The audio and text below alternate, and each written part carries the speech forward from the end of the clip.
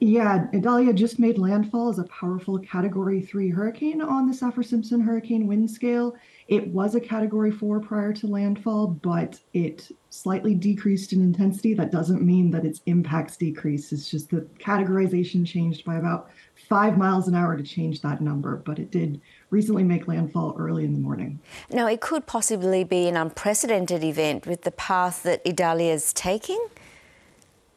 Yeah, this region has rarely experienced hurricanes of this strength on record, and it is driving a powerful storm surge in an area susceptible to a lot of uh, inland inundation. And they've seen over six feet of water above where it should be already. How damaging could this storm potentially be? Uh, res- residents aren't out of danger yet, are they? No, it will uh, persist with an extreme wind warning for some time, which is gusts expected well over 100 miles an hour. But the winds are happening at the same time as the heavy rainfall and the storm surge coming in. So it will be some time before those hazards start to abate. That's uh, in particular what's um, damaging or dangerous about this particular storm, isn't it? It's the wind factor, and we've seen it pass through Cuba as well.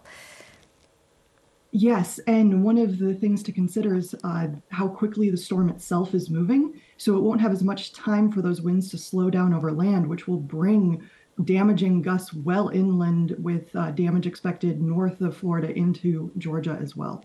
So is that expected to pass through densely populated areas? Some densely populated areas, yes, but it will be catastrophic for many folks in its path, whether it's densely populated or they're in a more rural area. How are authorities and millions of residents preparing for the storm? What are the most effective measures that can be taken with a, a hurricane like this? When it comes to storm surge, it's getting out of the way of the water, so evacuation. And for those who are still uh, more inland but in the path of those uh, strong winds, it's sheltering in place, similar to what we do in the path of a tornado. And if the waters start to rise where they are due to either storm surge or heavy rainfall and thus freshwater flooding, it's getting to a higher location.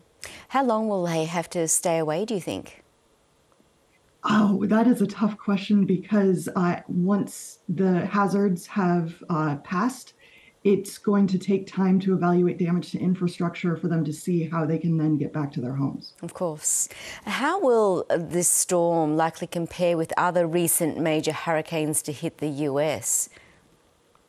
It's going, every storm is unique because of where it hits and how the trajectory it takes and that sort of thing. But uh, we are concerned about what we will see in daylight once the storm has passed with damage to roads, uh, inundation due to water, and potentially in the areas with the strongest winds, uh, snap trees and very badly damaged structures.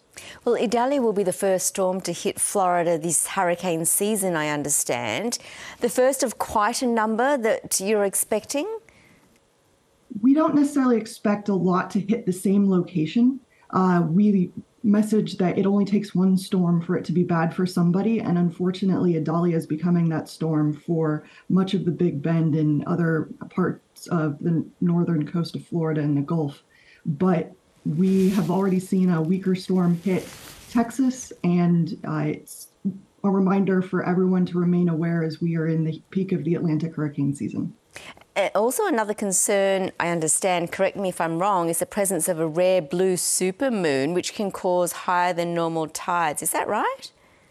So, when it comes to tides, that can worsen how far inland the storm surge uh, gets. Right now, it looks like we're approaching high tide, which is going to continue to push water in as the storm itself is pushing water in. So, it does worsen the concern that a wider area will feel the effects of that storm surge. Well, Dr. Kim Wood, I hope you and everyone uh, in the affected areas can stay safe. Thanks so much for joining us. Really appreciate uh, your, your time tonight. Thanks for having me.